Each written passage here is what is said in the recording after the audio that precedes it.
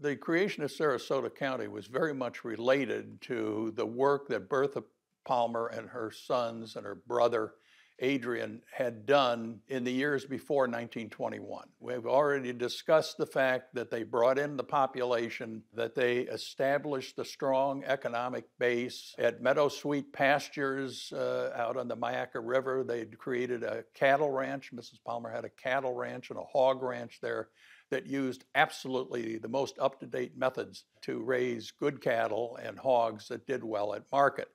But the problem was this that the nature of the American economy was changing in, in precisely that period. And you can date it almost precisely from 1908, uh, which was when the first Model T car uh, rolled off the assembly line. The flood of cheap available cars, followed uh, by an event at the end of World War I, where uh, when the war ended, there was a vast supply of surplus Army trucks and those trucks were the basis of the American trucking industry. But cars and trucks had to have a place to go. And people could see the promise not only of uh, tourism, uh, but of uh, economic development from it. In fact, it was so obvious uh, that communities began to compete among themselves, states among themselves too, as to uh, where these roads would be built.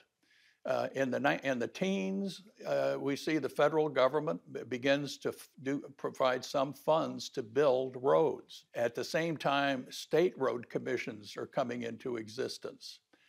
Before that, by the way, counties were responsible for road building and cities, uh, incorporated cities. The question uh, for, the, for the people of Sarasota was uh, how do they make sure that Sarasota is on the main, just as they had to fight to get on the railroad system, Sarasotans had to fight in order to protect their economic interests by having access to this new modern road system that was beginning to come into existence thanks to federal and state money.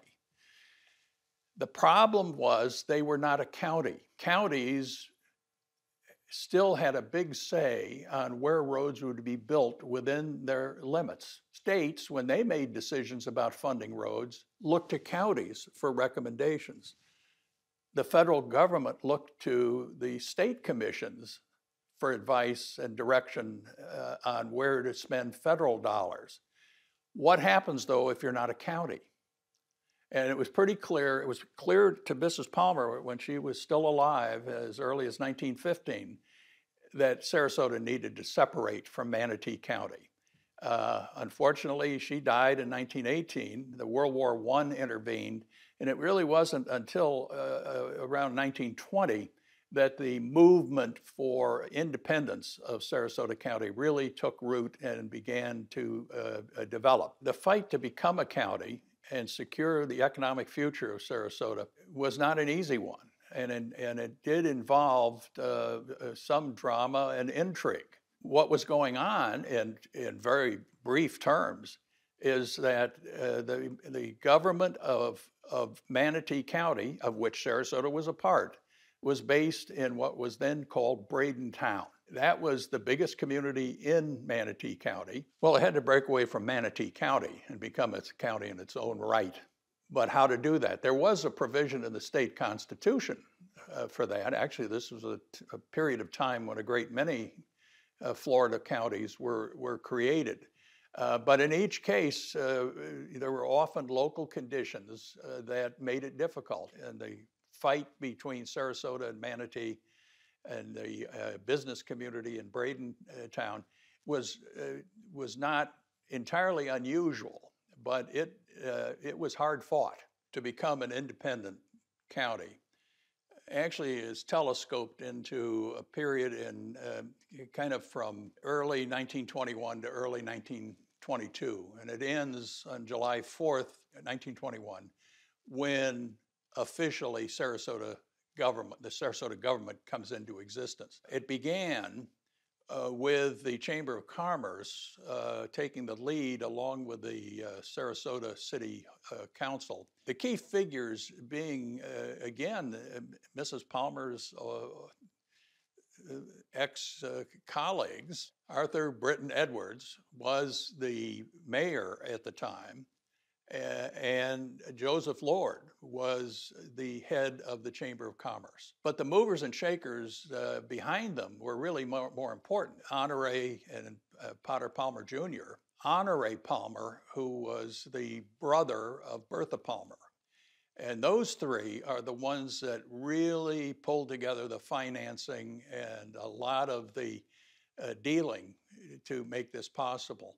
But in terms of the out front people, Edwards is by far and away the most important figure that's, that's involved.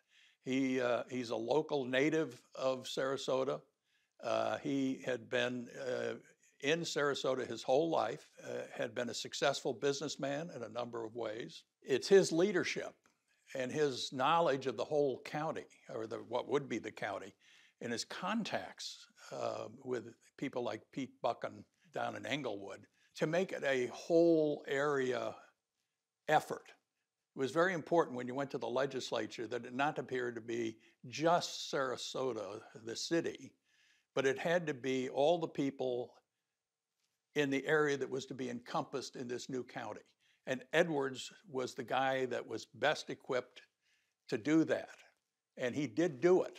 And they put together a whole committee uh, that ran the show, had planned what this new county would look like, what its, what its, uh, what its borders would be. There are small communities outside of Sarasota. Venice is not yet developed very far. Nokomis uh, is part of the Venice area, and that had, at that point in time, had, had more had more people in it. You had a, a, little town at Fruitville. There were several others that, that existed. What Edwards did was to make sure there was a representative from each of those of those towns, those little communities, uh, that was on this committee. And then they did these petitions. So right off the bat, Edwards, when, uh, when he went to the legislature, had evidence that there was broad support for this to happen. The story in brief about this fight is, is, is kind of two parts. One is, is the problem of, of, of getting, getting the state legislature to vote for this new, this new county. And secondly, there was a requirement that the legislative action be voted on by the citizens of this proposed new county. And you had to win the vote of the people as well as the vote in the legislature to make it happen. Now, the vote in the legislature turned out to be the hardest part of that. The Bradentown people, particularly the business people, opposed uh, what the uh, Sarasotans were proposing. Uh, and they sent carloads of lobbyists uh, uh, up to the state capitol to lobby against the bill that the Sarasota people had put in to create Sarasota County, and they blocked it. They stopped it. And it lo- and given the timetable, given how the legislature meets and when it uh, was going to stop meeting, it would be two years before uh, Sarasota's bill could appear again on a legislative calendar, unless they could figure out a way to deal directly with the Manatee people and cut a deal. And that's what happened. Uh, the Chamber of Commerce uh, in Sarasota got in touch with the Chamber of Commerce in Bradentown. They worked out a, a, a situation where they could send delegates to meet in Bradentown. There was a, a mass meeting in Bradentown. Uh, there were, uh, the objections of the Manatee people were aired. The uh, response of the Sarasotans was heard. And then they really got down to business. That a small group uh, from the uh, each of the two chambers of commerce met privately, and they cut a deal. But that deal was that the Manatee uh, the Manatee commissioners would withdraw their opposition to Sarasota becoming a county if Sarasota was willing to give up part of the land that they were asking for as part of this new county. In fact, they wanted the whole northeast corner. They demanded the, the 144 square miles of the northeastern portion of the proposed Sarasota County. It was painful, obviously, to lose uh, such a significant portion of their new county. But on the other hand, they didn't want to wait two years. And moreover, when they thought about what was in that area, which was mostly along the Myakka River and uh, uh, flooded often and it was not heavily populated, they finally decided that uh, it was better just to concede the point. And with that, uh, the agreement was reached. A joint committee of the two chambers drove in a car uh, up to Tallahassee. It was presented to the legislature, passed unanimously in both houses. But it did have a provision in that law which said that the, the people of the proposed new county of Sarasota had to vote on what the legislature had done. Would, would they accept the terms that were, were there? That was done in May of 2021. And that's when that uh, other election was held. And this was a time when we, we meet, get to know a, a heroine. Uh, there's actually another her- heroine besides Bertha Palmer, and that's Rose Wilson. She was the editor of the Sarasota Times.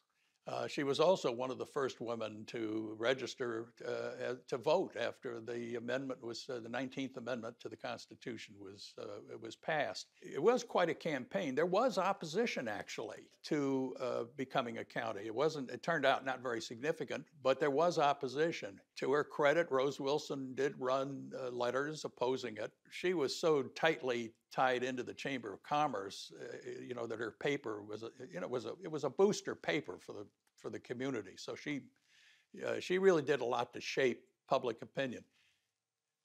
And it is approved. Well, the evening of the day that the legislature voted unanimously, and uh, shortly after that, the governor signed this bill creating Sarasota County, uh, news uh, was telegraphed to, uh, to Sarasota, to the Sarasota Times office and editor Rose Wilson. Uh, word quickly spread uh, throughout the county, or the proposed county. And, and that night at Five Points, an enormous celebration broke out. Uh, lines of cars. There was a, an impromptu parade takes place with the biggest fire engine that uh, that they have, with the chief of the fire department driving the fire truck, and very significantly, the secretary of the Chamber of Commerce, who had done a lot of work on this bill, sitting right next to him. And so people celebrated into the small hours. Uh, there wasn't time for planned speeches or anything. They just uh, enjoyed themselves and they got ready for the next challenge, which was the popular vote on whether the people of this proposed county accepted what the legislature had just passed. Harry Higel was one of the leaders of the uh, movement to make Sarasota a county. Was a very, a very well-known uh, local businessman. Uh, had many enterprises. He was originally from the Venice area, and his primary interest was in Siesta Key. He was the first to really see the potential of Siesta Key as a major tourist attraction because of Crescent Beach, as it was called, which was even then had, had achieved some uh, national fame as a beautiful beach to come to.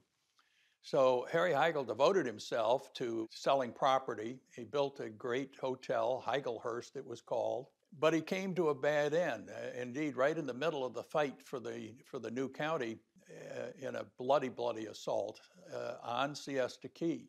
Evidence seems to indicate that a fellow named Rube Allen, who was a former newspaper editor and was he lived on Siesta Key.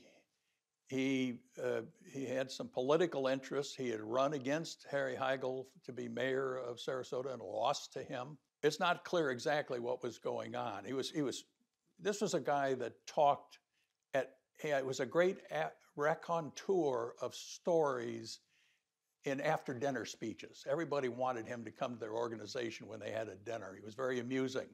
And here he is. There's some evidence that he beat this guy to death. And uh, in fact, what happens is, is that as the word spreads, uh, Harry Higel is not dead when they find him, uh, but he dies in a car as they try to drive him up to, uh, to Tampa. Rube Allen is in danger of being lynched. And it's not until the sheriff of Manatee County comes down and picks him up and takes him to uh, Bradenton uh, that he is uh, safe. His trial did, he was not convicted. I'm not sure exactly why that was, although most of the evidence was circumstantial against him. Uh, and it remains to this day the greatest unsolved murder in the history of Sarasota. Uh, so Harry Higel's kind of a famous character for, for several different reasons.